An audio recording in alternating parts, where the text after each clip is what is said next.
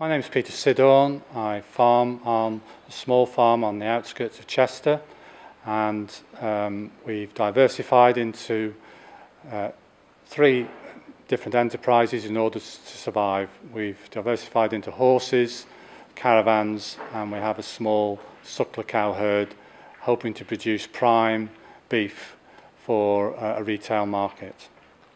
The main concern I have as a small farm farmer with a suckler herd is that tuberculosis could devastate my herd. Since 1950, there's been a um, campaign by the government to control the disease, but it does overhang us all the time, the fact that particularly since uh, foot and mouth in 2001, the disease has um, expanded considerably in certain parts of the UK.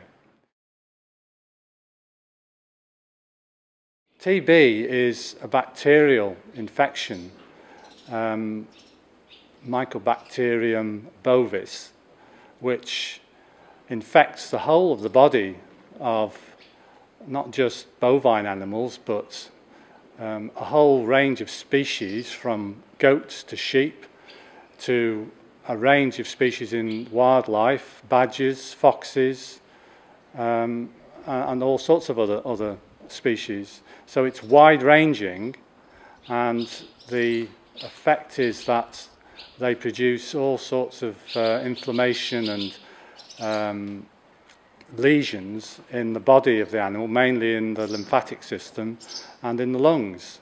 And these are often picked up, well, they are picked up at post mortem in abattoirs. And that is how some farmers have actually found out they've got the disease because the the other mode of testing, which is a skin test, has not picked them up. Uh, badgers are particularly uh, targeted because they can harbour the disease for years and years without it actually killing them. Um, other species are more vulnerable and will die, and it's a horrible death to die. If you take the government's figures, the average cost of a TB outbreak is £30,000. That's obviously taking the very large dairy farms with the smaller dairy farms, likewise the beef units. But of that, £20,000 is uh, stood by the government in terms of compensation. The other 10,000 is a total loss to the farmer. That means loss of the breeding stock, which he probably can't replace or can only do so at great cost uh, but also in terms of his business being uh, shut down for 60 days till he, or even longer than that, until he has a clear test.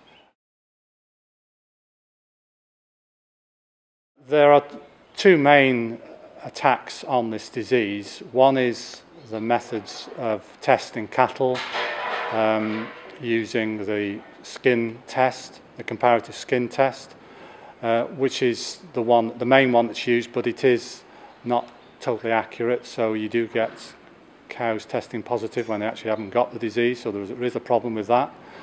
Um, the other um, line of attack is on pre-movement testing, so all cattle have to be tested um, within a 60-day window if they want to be moved. On the wildlife side, this is where there are, there are so many options of how we can deal with the disease Primarily, it is culling of badgers in hotspot areas.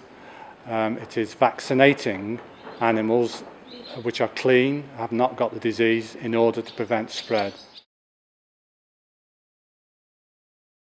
The two main uh, protagonists in this issue about whether to cull or not are obviously the badger um, protection societies who obviously say that culling of badgers has no effect whatsoever on controlling the disease. And they usually cite the Krebs trials. Uh, the other side of the coin is the farmers obviously say that wherever the disease is, it needs to be eradicated. It doesn't matter whether it's in badgers or not. I mean, as a farmer myself, I like badgers. I don't want to see them destroyed, but likewise, I don't want to see cattle destroyed with the disease either. We need to trap a badger from every sett. humanely dispose of it, and then test it.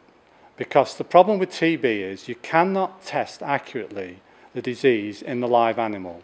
You can only do it post-mortem.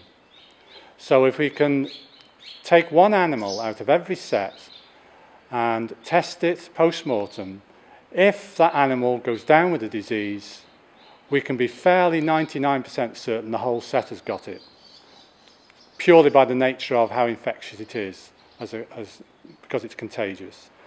If that's, that animal is clear, leave the sett alone, and you've, you've not destroyed a viable sett, and it can continue to flourish.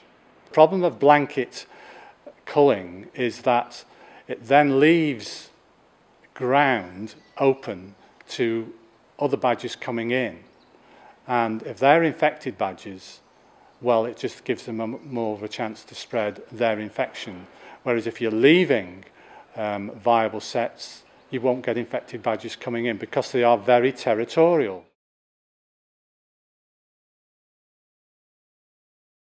If we just take the figures of 2009 that the government issued, it's cost 63 million pounds for one year. Over a 10-year period, that's going to be 630 million pounds of the taxpayers' money, and it's not actually controlling the disease. My method, I think, would mean that initially there would be a higher cost than your £63 million, but over the longer term, because the disease, I feel, would be controlled more effectively and quickly, the cost overall over, say, a 10-year or even 20-year period would be less. I've shared my idea of this control method with the NFU, who are the, the main uh, spokesman for the farming community on their website, also with the Welsh Assembly Government Forum, who've asked for farmers' comments and ideas about control methods and what they would be in agreement with. I feel that the benefits of this control system um, are that it gives nature a fair chance in that um, undiseased setts and other wildlife are not destroyed in a blanket fashion. Uh, secondly, the, it gives a fair chance to the farmer to control the disease in his cattle once and for all. And finally, it gives the taxpayer a fair deal